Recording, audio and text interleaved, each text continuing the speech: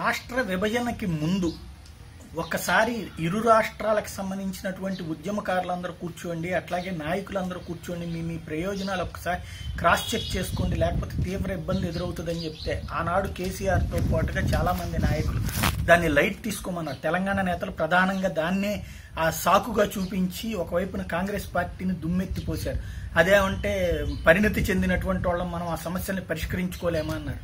కానీ ఇవాల్టికి కూడా పరిష్కారం కానటువంటి సమస్యలు సెక్షన్ టెన్ సంస్థలు సెక్షన్ నైన్ సంస్థలకు సంబంధించినటువంటి విభజనలు జరగకపోవడం నిధులకి సంబంధించి క్లారిటీ లేకుండా ఇవాల్టి వరకు కూడా హైదరాబాద్లో ఉన్నాయన్ని మాయే అంటూ ఆస్తులన్నిటితో పాటుగా నిధులను కూడా ఆపేసుకున్నటువంటి తెలంగాణ గవర్నమెంట్. రెండో పక్కన కృష్ణా జల వివాదాన్ని తీవ్ర స్థాయిలో ఆ రోజున జలంలో నుండినే జగడం పుడతదని లగడపాటి రాజగోపాల్ కిరణ్ కుమార్ రెడ్డి లాంటి వాళ్ళు మాట్లాడితే తీవ్రస్థాయిలో విరుచుకుపడి విమర్శలు చేసినటువంటి కేసీఆర్ ఈ రోజు వరకు జలజగడ పరిష్కారానికి మాత్రం సూచించలేకపోయారు.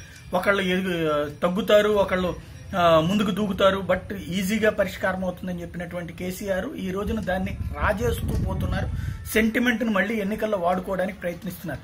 ప్రతిసారి కృష్ణా జలాలకు సంబంధించినటువంటి వివాదం సాగుతూనే ఉంది. తాజాగా కుదిరినటువంటి కృష్ణా బోర్డులో కుదిరినటువంటి ఒప్పందం ప్రకారం అయితే అరవై ఆరు శాతం ఆంధ్రప్రదేశ్ ముప్పై నాలుగు శాతం నీళ్ళని తెలంగాణ వాడుకోవడానికి అనుమతి లభించింది. దాని ప్రకారం చూసుకుంటే ఆంధ్రప్రదేశ్కి రెండు వందల పదిహేను టీఎంసీలు తెలంగాణకి దాదాపుగా నూట పదిహేను టీఎంసీల నీళ్ళని వాడుకోవడానికి నో అవకాశం వస్తుంది. అయితే నూట పదిహేను నుంచి నూట యాభై టీఎంసీల నీళ్ళని వాడుకోవడానికి అవకాశం వస్తుంది. కానీ ఇక్కడ కీలకమైనటువంటి పరిణామాన్ని ఏమాత్రం పట్టించుకుంది. నీళ్ళు వచ్చినప్పుడు పంచుకోవడం కాదు. నీళ్ళు రానప్పుడు ఎలా పంచుకోవాలి?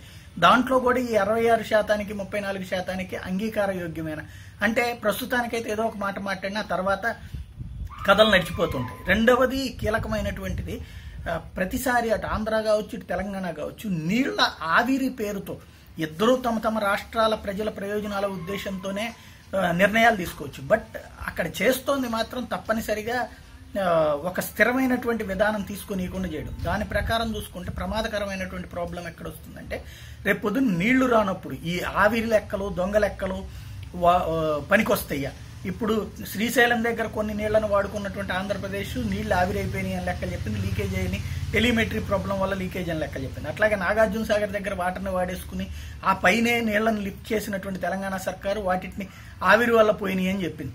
ఆవిరితో పోయేటువంటిది ఐదు శాతం అయితే దాదాపు పదిహేను నుండి ఇరవై ఇరవై ఐదు శాతం ఆవిరి వల్లే పోయినాయి అంటే ఇప్పుడు దాని మీద ఒక కమిటీలు వేసుకుని ఒకళ్ళకొకళ్ళు కథలు చెప్పుకుంటున్నారు. కానీ ఇక్కడ ఇదే ట్రెండ్ కంటిన్యూ అయితే రేపు పొద్దున ఫ్యూచర్లో ప్రాబ్లం ఎవరు సాల్వ్ చేస్తారు? ప్రధానంగా కరువు వచ్చినటువంటి సమయంలో ఎవరు సాల్వ్ చేస్తారంటే తాంబూలు ఇచ్చేసాం తన్నుకు సావండి అన్న తరహాలో తయారు కాబోతుంది. ఈ పరిస్థితికి ఇప్పుడే ముగింపు పలికి శాశ్వతంగా ఒక కార్యాచరణ చేయకపోతే గనక ప్రజలను అడ్డం పెట్టి రాజకీయాలు చేసేటువంటి నేతల మాటలు ముందుకొస్తే జనం మాత్రం తీవ్రమైనటువంటి ఇబ్బందులు పడాల్సి వస్తుంది. మరి ఏం జరుగుతుందన్నది మనం చూద్దాం.